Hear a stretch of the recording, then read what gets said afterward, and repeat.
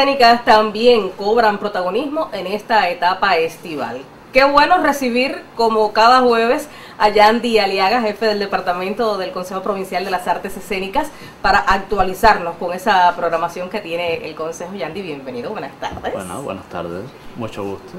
El gusto es mío, encantada. Ah, y más cuando me actualizas con esa programación que tiene Artes Escénicas. Sí, bueno, inicialmente, eh, lamentablemente, en nuestra programación se, se, se siente afectada por la, la, situación epidemiológica que hoy presenta eh, prácticamente todo el país, o sea, la mayoría o muchos de los actores nuestros que tenían programación este fin de semana están afectados por el virus y obviamente hemos tenido que suspender algunas de nuestras... De nuestra, sí, algunas son suspendidas, pero otras se mantienen. Sí, Estamos hablando porque bueno, ya habíamos eh, promocionado por las redes a la guerrilla de teatrero que estaba en la sala José Joaquín Palma. Esta actividad queda suspendida producto de esta misma situación.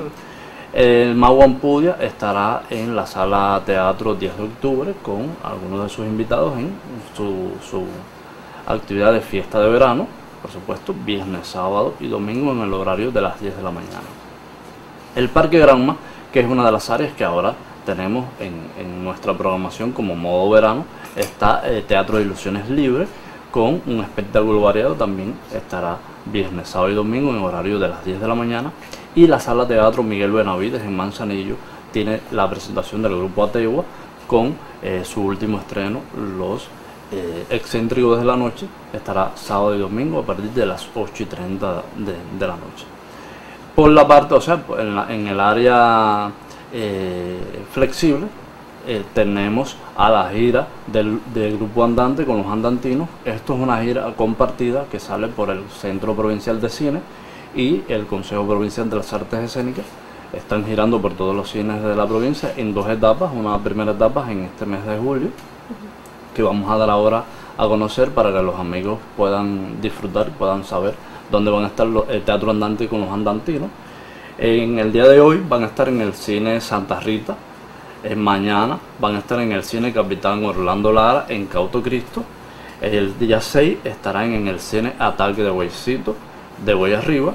El día 7 estarán en Cine La Plata de Bartolomé Mazó. Eh, el día 10 estarán en el cine de Sofía del municipio de Yara. El día 12 estarán en, en el cine 4 de abril del municipio Río Cauto y terminan el día 13 en el cine Césped, por supuesto, compartiendo con nosotros la lectura Sugira. Eh, también quería puntualizar eh, dentro de las acciones que nosotros tenemos de, reanimación, tenemos la sede de la compañía Bienandanza, que ya habíamos hablado. Esto es una sede que hemos rescatado, que es eh, de las antiguas salas de video que existen en, nuestro municipio. Esta sede queda en calle 21, entre 10 y 12, reparto el valle.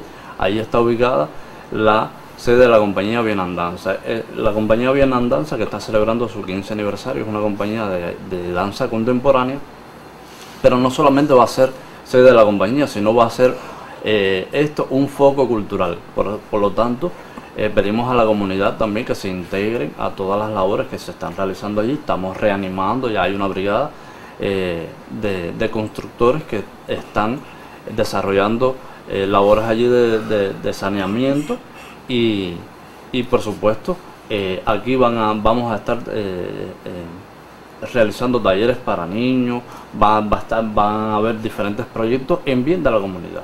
O sea que esto, esto va a ser una opción muy importante para esa comunidad que, todos sabemos que es un poco compleja por lo apartado que está eh, del centro de la ciudad y que no todos los pobladores de allí pueden acceder a una sala de teatro para, para consumir el producto cultural que nosotros les ofertamos.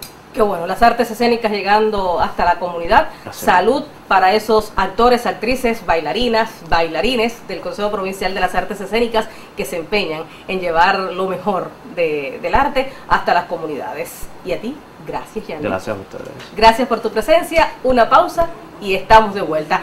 Bueno, vamos, mm, el tiempo no nos permite. Vamos a felicitar ante al colectivo del Como Ninguno de Radio Bayamo que hoy está de aniversario 35 años el beso grande para todos ellos y así nos vamos despidiendo en esta emisión de esta revista Frecuencia 12 que si se parece a alguien. Es usted.